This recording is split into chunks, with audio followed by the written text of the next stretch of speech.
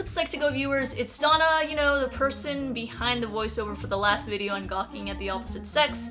And I'm here to introduce a new segment on Psych2Go called Psych News Edition, where we announce the new discoveries happening in the world of psychology. So without further ado, let's get on to the first story. The scientist at the University of Maryland School of Medicine, led by Dr. Scott Thompson, claimed to have found a compound that can beat the symptoms of depression within 24 hours. The team focused on a compound called GABA NAMs and tested their hypothesis on rats. Rats were subjected to chronic mild stress that caused the rats to act depressed. When treated with the compound, scientists were able to reverse the symptoms of depression within 24 hours. So that's a huge improvement from current antidepressant medication we have today.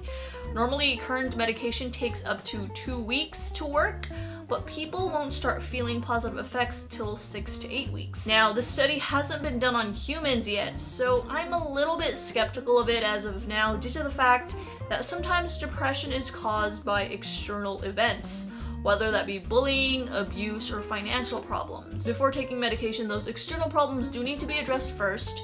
A pill will not make those problems disappear. Don't get me wrong, any sort of progress in the realm of science is a great thing, and only good can come out of this new discovery. Our second story comes from the University of Pennsylvania, and it's for you frequent migraine sufferers. I've got good news, and bad news. The bad news is being prone to migraines is genetic. If you often get them, that's that, and you were born with what you have.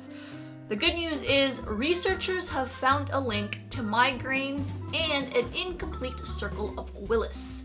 The circle of Willis is the joining area of several arteries of the brain. Because of that finding, researchers are now working on other treatments for migraines. It's coming soon, you guys. And our final story is about screaming. Screaming is a vital form of human communication.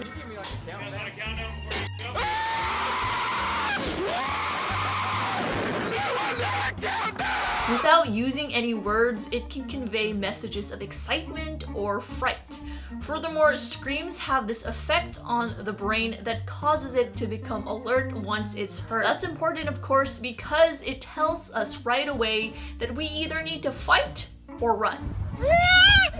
That is why Poeppel and his team at the University of Geneva in Switzerland asked people to judge screams based on how terrifying they were in hopes to learn about this mean of communication much more.